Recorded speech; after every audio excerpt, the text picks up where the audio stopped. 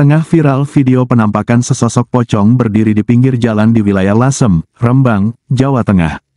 Dalam video yang diunggah akun Instagram @infoseputar Lasem pada Selasa, tanggal 8 Oktober tahun 2024, sosok pocong putih itu seperti sengaja berdiri di pinggir jalan sepi saat malam hari. Kondisi jalan gelap karena berada di tengah-tengah sawah dan minim penerangan. Sosok pocong itu berdiri di pinggir jalan sendirian. Perekam video pun menepikan kendaraannya di dekat pocong itu. Namun pocong itu malah berjalan kabur menuju tengah-tengah sawah.